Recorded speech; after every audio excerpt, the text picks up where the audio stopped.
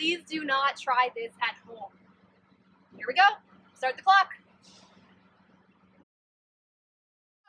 So I have officially just started sitting in a hot car and I am all hooked up here. Got my vitals. EMS are watching. And uh, again, I want to stress please do not do this at home. I do have professionals here. And uh, well, it's. It's already pretty hot in here. It's uh, we're climbing to 41 degrees Celsius inside the car, and outside it's feeling like 30 right now. So it's already about uh, a 10 degree difference. So I'm just gonna sit back and I guess get comfortable, sort of. Uh, temperature can reach pretty pretty substantial levels in a matter, matter of minutes. It's uh, it's something that escalates quite quickly, uh, especially depending on the ambient temperature within the vehicle.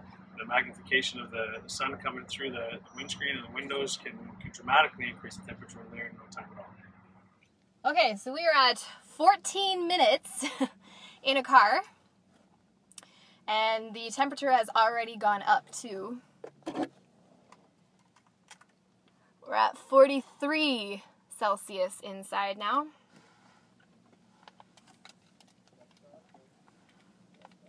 Figure maybe I should put on my Kool FM glasses.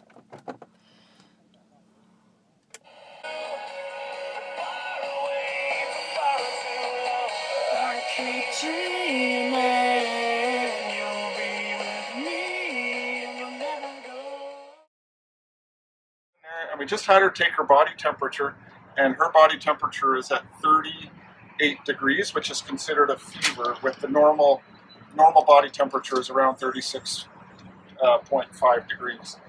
So it's important to note that she is young and healthy and physically active person.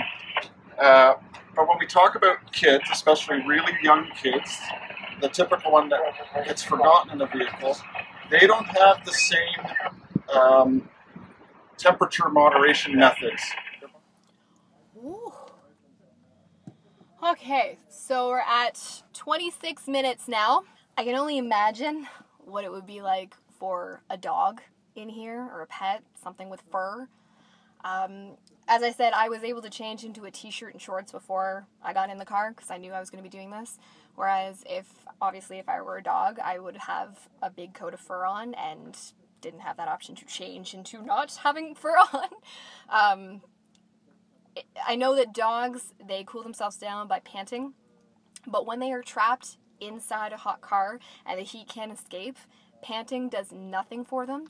And within a few minutes, I think it's something like 10 minutes or so, the dog can start having um, brain damage and he can start vomiting and he can start having heat stroke and uh, just getting agitated obviously i mean I'm I'm kind of calm just because I know what's going on.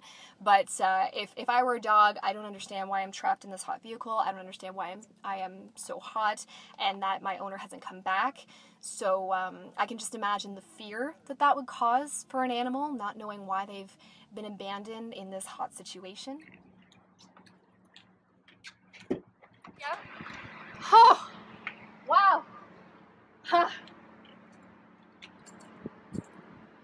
Oh, that wind feels good and that water feels good too. so again, remember, do not try this at home. The reason why I was doing this is to prove a point. Do not leave your pets or your kids or seniors in a hot car on a hot day. It is not healthy for them. It's just sad to think that people still do this.